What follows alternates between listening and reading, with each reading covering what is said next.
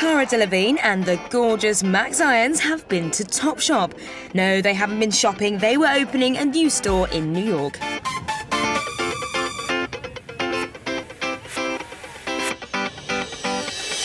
As brand ambassadors, they were giving Topshop CEO Philip Green a helping hand as they officially unlocked the store on Fifth Avenue.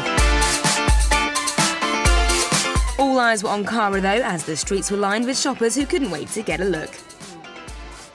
Because she's everything that Topshop is.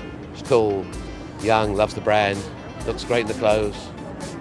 You know, sort of speaks. Think if you look at the pictures of her, she's exciting. The new shop is the second largest after the London flagship store, and it features looks that were created specifically for Fifth Avenue.